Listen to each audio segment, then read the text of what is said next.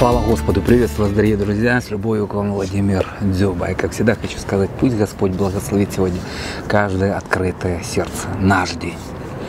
Время нашего труда. Каждый, кто сегодня призван и осознает, что призван для того, чтобы выполнить определенную работу, которую Бог определил для каждого из нас. И это связано с нашим служением. И то, что сегодня каждое служение, любое служение нас объединяет сегодня в, э, в молитве. Знаете, когда каждый снимает, может, э, свою одежду, или не то, что снимает, а где-то ставит как бы в сторону, понимая того, что сегодня мы должны объединиться в том, чтобы ходатайствовать. Ходатайствовать стоять в проломе за неспасенные души, стоять в проломе сегодня за э, как, жизнеспособность того корабля, на который Бог нас поместил, который называется Церковь. Поэтому пусть Бог каждого из вас благословит и укрепит. И как всегда, уже есть у нас традиция, а, всякий раз, когда а, приходит время к тому, чтобы записывать такие маленькие эти месседжи, которые, я верю, пусть будут хорошим таким ободрением для каждого, кто сегодня стремится, стремится исполнить волю Бога. Место Писания. Евреям 2 глава. Я взял сегодня современный перевод. На мой взгляд, он более как бы э, красочней и понять, понятней э, приносит э, понимание суть сказанных вещей. Евреям 2 глава, 1 стих. Поэтому нам следует еще крепче держаться того, что мы услышали. Не то нас несет течение. Знаете, в, в этом месте Писания звучит предостережение для каждого из нас. Первое, это то, что я замечаю, это ответственность каждого из нас Э, за то, что мы уже получили ту меру благодати, ту меру откровения, то видение, и можно перечислять множество сегодня таких пунктов, которыми мы уже обладаем.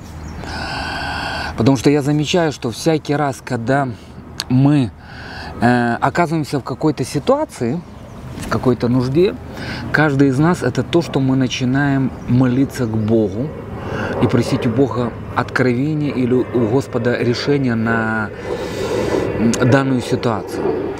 И я могу сам сказать свои личные, э, своего опыта, это то, что Господь э, приносит разумение и дает откровение. Дает откровение.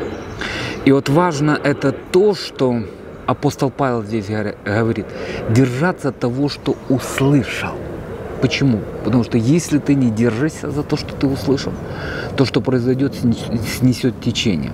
Потому что жизнь духовная, она на самом деле напоминает тот бурлящий поток, в котором ты оказываешься, и в котором тебе приходится прикладывать усилия для того, чтобы идти. И в этом потоке ты встречаешь такой э, воду, такое, такое противление, которое имеет разное название. И депрессия, и угнетение, и разочарование, и неверие, и предательство, и прочее, прочее. Это такая многоколеровая вода, которая мощным таким потоком движется против нас. Для чего? Для того, чтобы остановить. Замечали это? Я думаю, каждый, кто э, получает в своей жизни слово от Бога, руководство от Бога, э, знаете, это как своего рода информация, э, которую Бог помещает в наше сердце, и то, что нам приходится хранить эту информацию в своем сердце, делать эти шаги в том, чтобы прийти к осуществлению того обетования, которое Бог сказал для каждого из нас. Делать эти шаги. Делать эти шаги. И вот как раз Павел говорит, чтобы мы держались крепче этого слова. Знаете, прежде всего это то, что необходимо, наверное, возогревать это слово. Это то, что на одном из, э, в одном из месседжей я говорил, что очень важно записать. Когда приходит Божье откровение в нашу жизнь, знаете, такое ключевое, мы понимаем, это ключевое откровение, важно его записать. Почему? Потому что я вижу это то, что дьявол, он всегда восстает на это откровение – всегда восстает на, на это откровение, такое ключевое откровение, которое касается, возможно, призвания, э, жизни, которое касается какого-то будущего, которому необходимо делать эти шаги. помните эту историю, я неоднократно ее привожу, и апостол Павел тоже это делал. Израильский народ, который вышел из египетского рабства. Они имели откровение.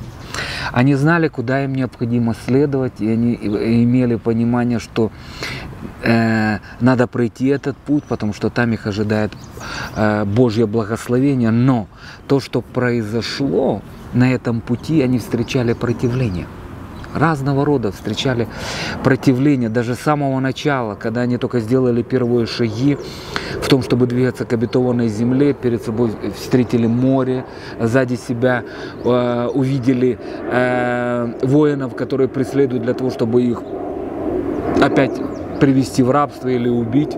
Это напоминает нашу жизнь. Точно так же и мы, когда получаем обетование, потому что, мне кажется, самое светлое обетование, которое у нас есть, это Царство Божие. Это то, к чему каждый из нас, верующий, стремится. Потом Бог дает понимание в отношении призвания, как по Павлу когда он его призвал, когда он еще был Саулом, он ему сказал, что ему надо будет делать то, то и быть там, там, там. И за это множество раз надо будет ему пострадать. Это то, что касалось его земного такого поприща. Точно так же и у нас. Имея откровение, э, знаете, можно сказать, аллилуйя, слава Богу. Но то, что самое сложное в нашей жизни, это то, что нам придется держаться за откровение, воинствовать за это откровение. Потому что я замечаю, всякий раз, когда приходит какая-то духовная атака, первое – приходит такое желание оставить то, что Бог тебе уже открыл, то, что тебе Бог отв... а, а, как бы доверил. Согласитесь, если вы со мной, скажите в своем сердце аминь. Потому что так оно на самом деле и происходит. Поэтому Павел и говорит, Павел говорит, держаться для того, чтобы не снесло течение не снесло течение. Потому что есть период в жизни, наверное, когда ты не особо ощущаешь это противление, кажется, ты делаешь какие-то такие шаги, и все хорошо, и так легко тебе сказать «Аллилуйя», «Слава Богу», но приходит момент, когда э, на самом деле, как как прорыв какой-то произошел, и это мощным потоком обрушивается на тебе. Поэтому, дорогие, запишите, возогревайте в своей памяти и держитесь за это слово. Почему? Если Бог сказал, это обязательно исполнится. Если Бог сказал, это обязательно исполнится в вашей жизни. С любовью, Владимир Дзюба. Аминь.